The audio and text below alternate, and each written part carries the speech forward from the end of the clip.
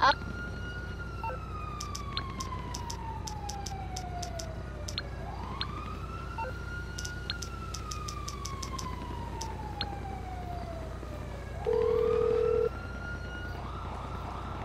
Meriwether, for all your private security needs, how can I help?